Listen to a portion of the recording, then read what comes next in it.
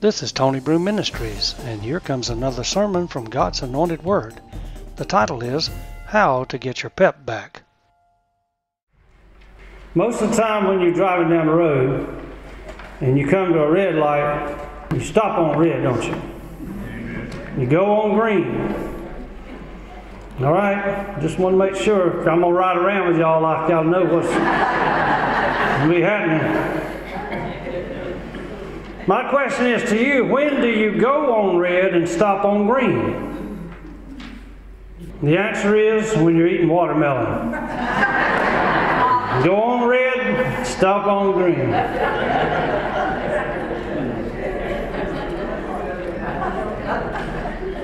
Well, go on red when you get to green, you better stop. You're still hungry for watermelon, you better buy you another one. How to get your pep back. The Bible word for pep is zeal. It has to do with a holy, fervent desire for that which is right, standing up for godliness and holiness. God in Christ Himself is our greatest example. You've heard the expression, my get up and goes done got up and went. Well, this message will help you get your pep back. God has zeal. God is not just sitting up there in heaven, twiddling his thumbs, wondering, well, what in the world am I going to do? And I don't know what in the world's going to happen, and the situation in the world is worrying me, and I don't know what to do to save mankind. God is a God of zeal. He's a God of passion. God is a God of love. And when He loves us so much that He calls Himself to do something, love drove Him to action. Love compelled Him to action. He had a zeal for us. He didn't have to have anything in the world to do with us. And you can spend your time trying to figure out why in the world God would have something to do with us. But instead of doing that, we can take that energy and just praise God that He has zeal for us. And it caused Him to act, it caused Him to do something. Christ, He came all the way from glory, and He had zeal that caused Him to sacrifice Himself, caused Him to live a holy life. And of course, He couldn't do anything else being holy, but it caused Him to come down here and to equate Himself and identify Himself with us and make Himself as one of us and become, Word becoming flesh. That was zeal. It had to do with zeal. Isaiah 59 17, he put on righteousness as a breastplate and a helmet of salvation upon his head. And he put on the garments of vengeance for clothing and was clad with zeal as a cloak. This verse has saving and judging. He put on his head the helmet of salvation, a breastplate of righteousness. He came to save. He had a zeal to save. And that's why he came to the world, to save the world. The Son of Man has come to seek and to save that which was lost. He has a zeal to save. That's why he can save from the uttermost to the guttermost, is because he has a zeal to save. He doesn't care what kind of harlot it is, he doesn't care what kind of drunk it is. He doesn't care what kind of lifestyle you have or where you come from and what you've done. He will save you anyway if you put your faith and trust in Him. He came to save us, and that's what He wants to do. His zeal drives Him to save us and causes Him to have a joy and a desire to save us. He only judges if He has to. He has on the garments of vengeance and he is clad with zeal like a cloak around him. And he will judge if he has to. If you want a mean, bad God, an ugly God, that's what kind of God he'll be to you if he has to. But he'd rather save you than judge you anytime. Zeal then causes us to have that pep, that zing in your sing. If you're singing a sad song, put some zing in your sing and have some zeal in your life. Zeal for God's house. Psalm 69, verse 9 For the zeal of thine house hath eaten me up, and the reproaches of them that reproach thee are fallen upon me. The world didn't like God. God loved the world, but they didn't like him. They blasphemed him. They went against him. And I'd say we did things against God. And the reproaches of them that reproach God, Jesus said, I'll come and I'll take the heat for God. I'll let them pour that vial and gall out upon me. And they spat upon him, they beat him, they tortured him, they did all those things, those mean things we did to him, even putting him on the cross and crucifying him. And he said, The reproaches of them that reproach thee are fallen upon me. You and I need zeal for the house of God. Jesus had zeal for the house of God. He loves the house of God. He loves the church. And you and I are to have zeal. We're to have pep for the house of God. Ezekiel chapter 5, verse 11. Wherefore, as I live, saith the Lord God, surely because thou hast defiled my sanctuary with all thy detestable things and with all thine abominations, therefore will I also diminish thee, neither shall mine eye spare, neither will I have any pity. And you can look at Israel's history, and because they defiled God's sanctuary, because they did their abominable things and they set up their abominations and their idols in the sanctuaries. They polluted the house of God. They polluted the altar. They did everything they could to go against God.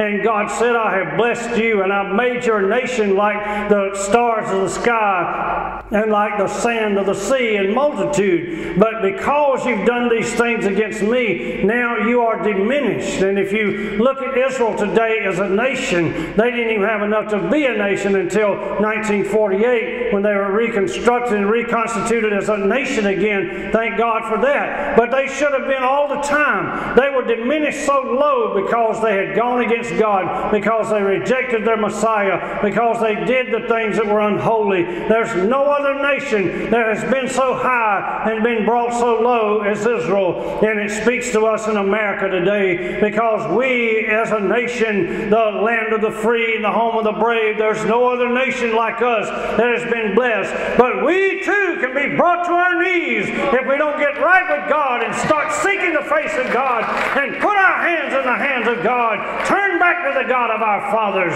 We too can be brought low as Israel was. Having a zeal for the house of God. Some expression now says, whatever. You talk to somebody and they may talk a little different than you do, and you can't quite come to a, an agreement on something, and finally you'll say, Well, whatever.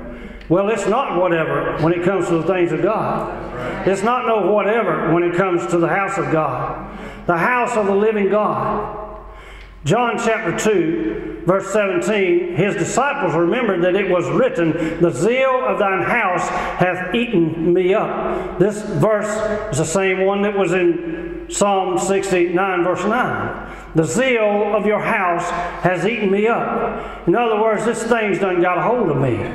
This thing has consumed me. The zeal of your house has eaten me up. That's why Jesus went into the temple, and this is John chapter 2, near the beginning of his ministry, and then Mark 11 and Matthew 21, near the end of his ministry, he did the same thing. That means that people still ain't listening.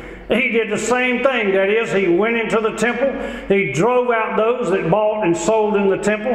He drove them out. He turned the money changers' tables over. He drove the people out that were turning the house of God into a house of merchandise. He said, You bunch of thieves. You've turned it into a den of thieves and a place of robbers. It should be a house of prayer for all nations. The house of God is to be a house of God where the poor man can come, where the black man can come, where the white man can come, where the Jew and the Gentile can come, red and yellow, black and white. Everybody ought to be able to come into the house of God. He said, This is a house of God for all nations. When you and I start saying, well, we don't like these kind of folks, or we don't like that kind of folk, and when the leaders of our denomination start saying, well, anything's allowed in the house of God now, it's not a temple anymore, it's not a church anymore, might as well not call it a church anymore, rather than turn it into a circus. Commercializing the house of God defiling the house of God.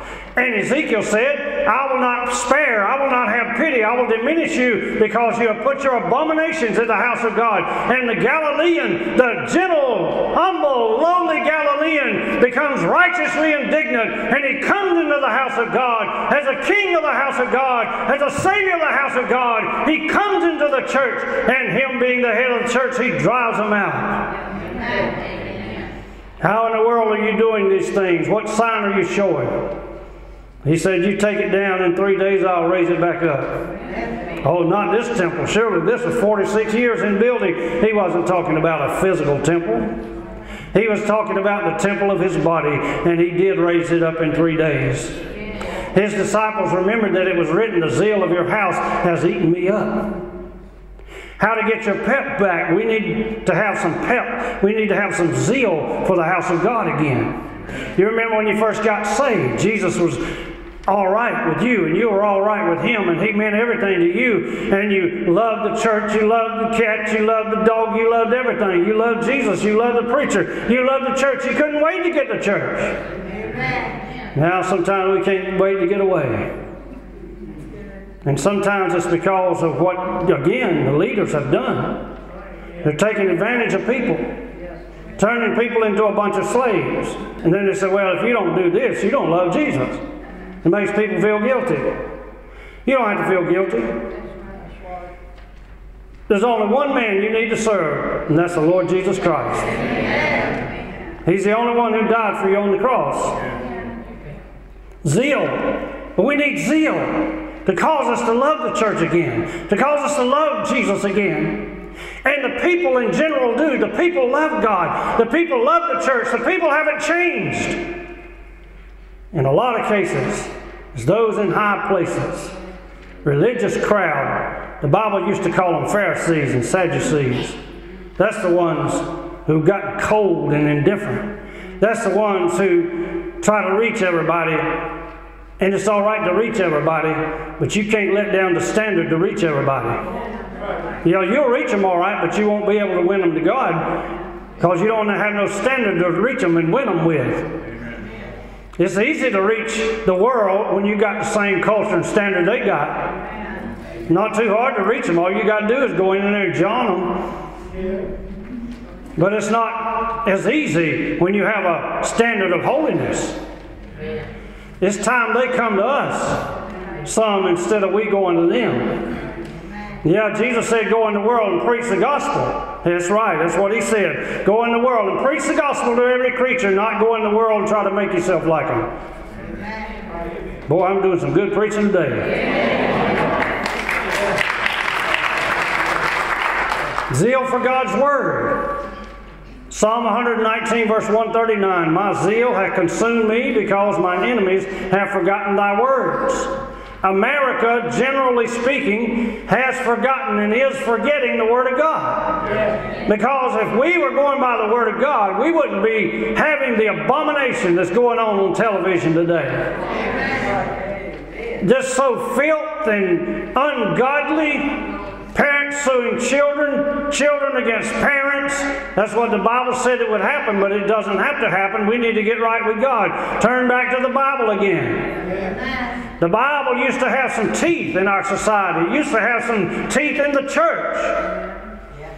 It's amazing to me how we can stand up we can go to a conference, we can stand up, and you can have ministerial candidates, and you can have people to stand there, and here's our manual, here's our Bible. We believe in one God. We believe the Father, Son, and the Holy Spirit. We believe in Jesus born of a virgin. We believe in sanctification. We believe in the baptism of the Holy Ghost. We believe in divine healing. We believe in the second coming of Jesus Christ. Everybody agrees with that. But everybody ain't acting the same way. Something's wrong.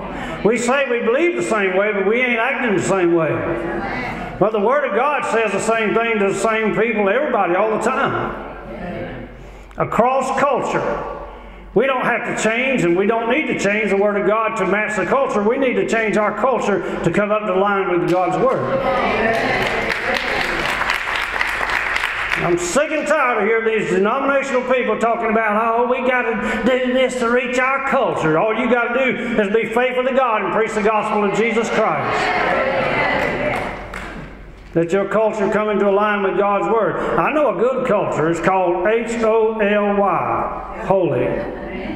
That's a good culture. I'm consumed. This thing has consumed me because the enemies have forgotten God's Word. Zeal for God's kingdom. Isaiah chapter 9, verse 7 Of the increase of his government and peace there shall be no end upon the throne of David and upon his kingdom to order it and to establish it with judgment and with justice from henceforth even forever. The zeal of the Lord of hosts will perform this.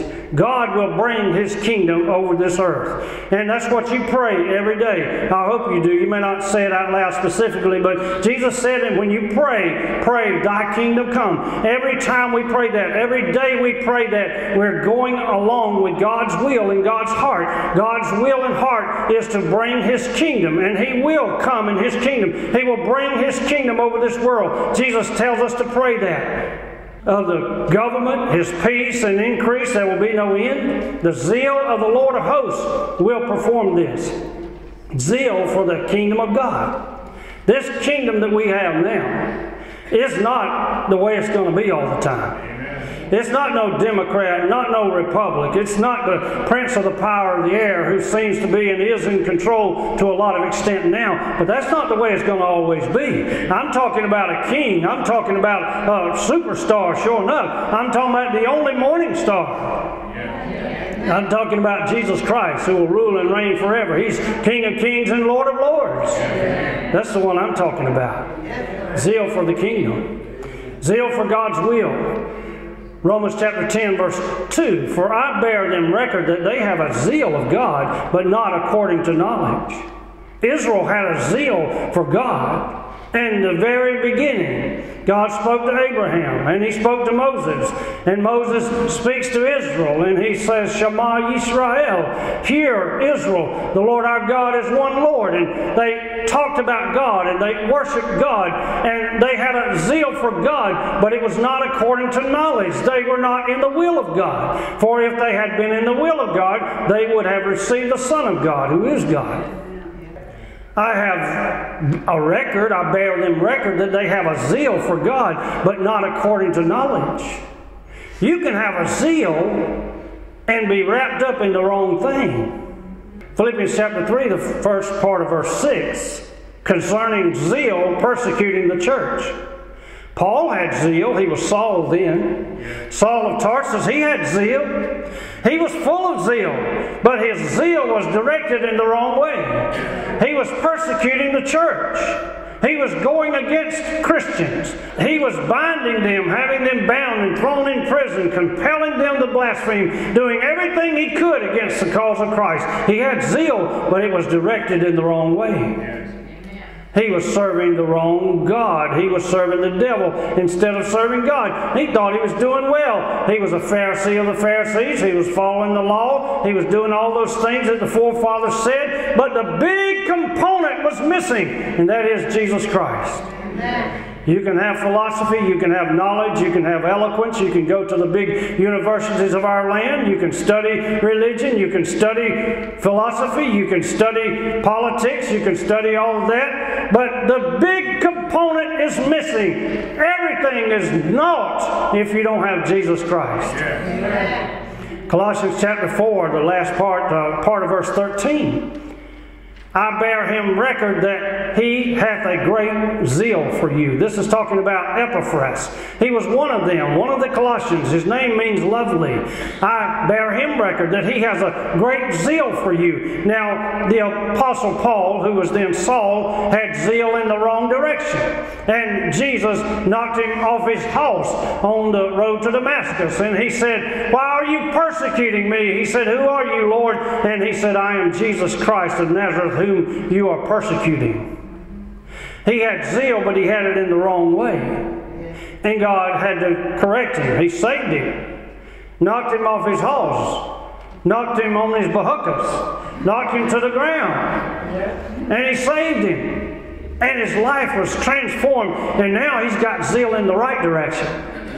And here's this man named Epaphras. He has zeal for the Colossians, and Paul said, I'm bearing him record that he's got zeal in the right way.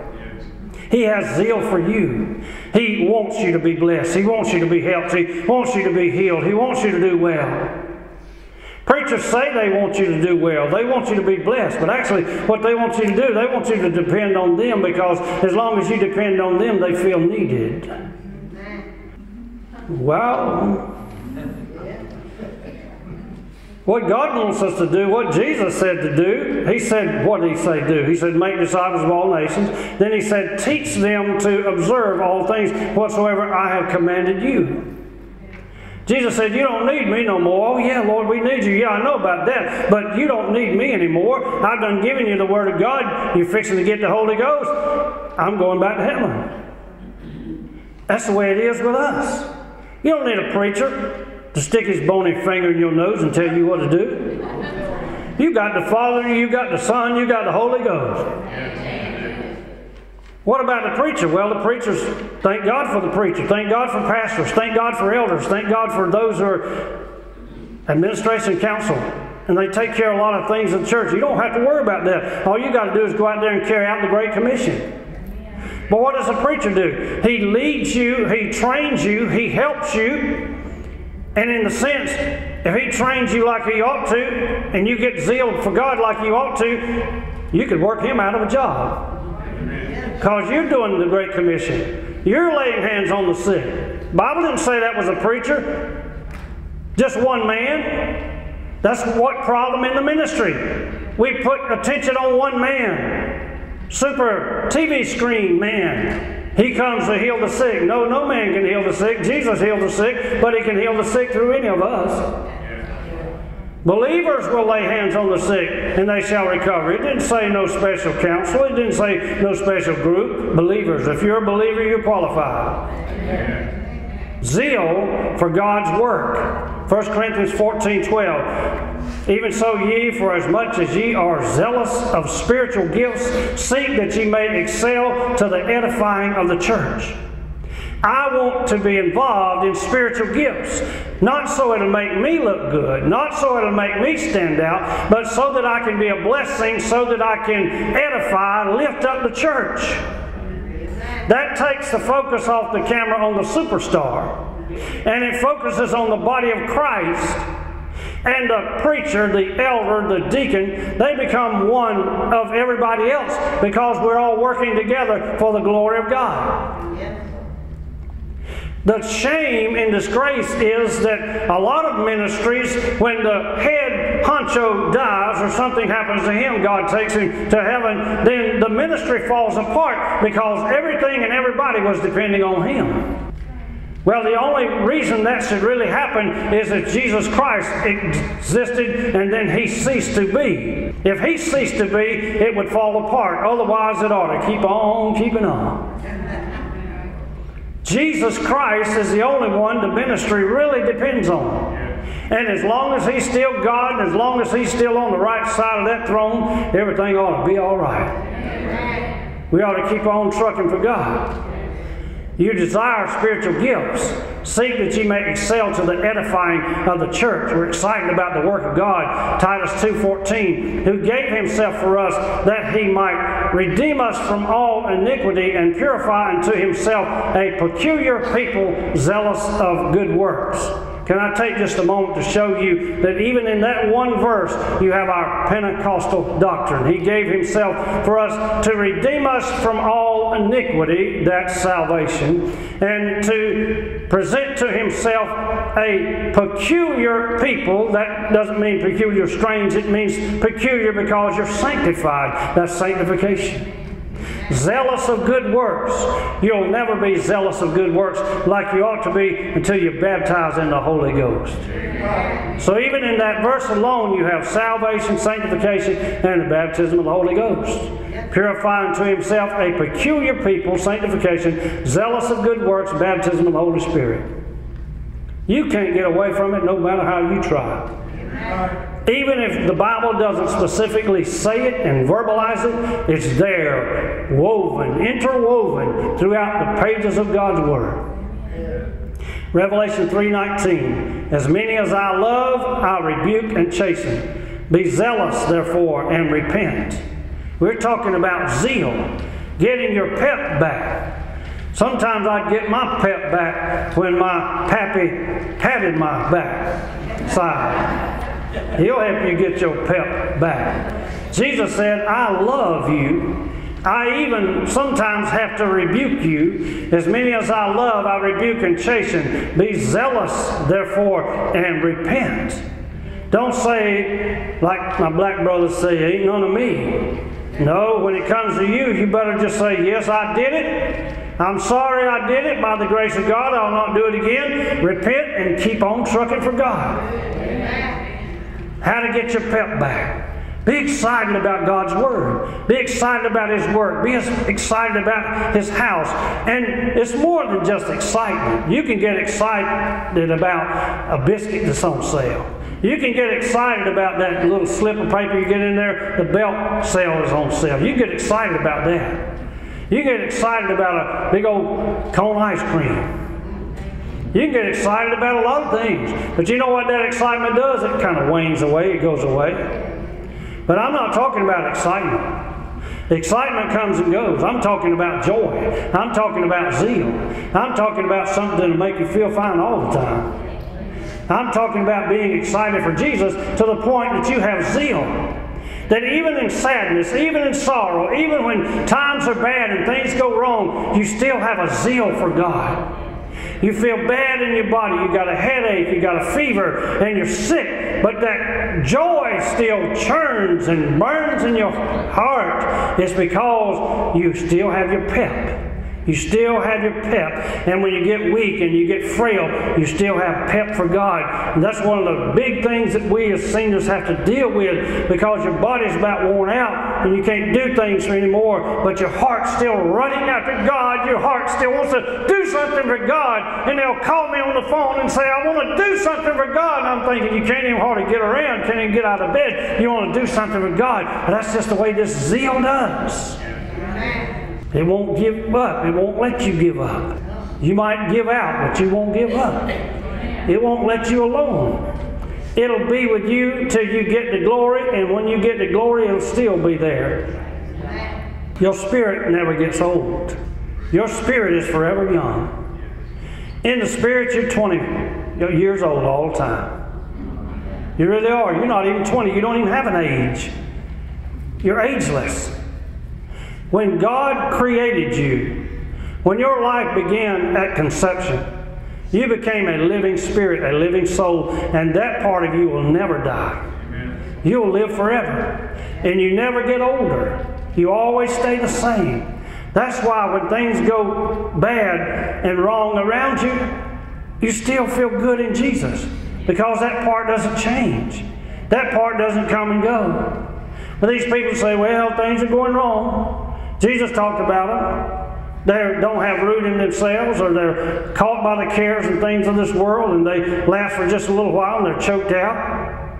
Only one group was those who are good, and they produce fruit 30 fold, 60 fold, 100 fold. But the thing is, these people who are so easy to what we call throw in the towel, I've heard the expression so much throw in the towel. Well, I already told you the other day, you better not throw in the towel. If you came up like we did, you didn't have no towel to dry off on. Better not throw it in. That's the way it is. It, those who want to give up so quickly, don't realize that Jesus is the same all the time. Your life with Him is the same all the time. Well, I hope today you've got your pep back. Jesus wants you to be excited about serving Him. More than excited, He wants you to have zeal to serve God. Thanks for giving a listen to this sermon entitled How to Get Your Pep Back. Make sure that Jesus Christ is your Savior and Lord. That will certainly give you zeal and pep. This has been a production of Tony Broome Ministries.